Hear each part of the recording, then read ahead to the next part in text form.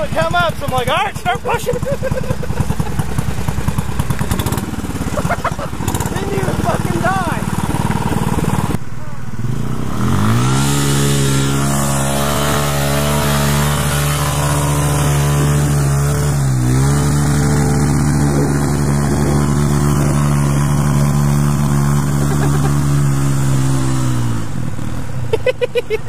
Just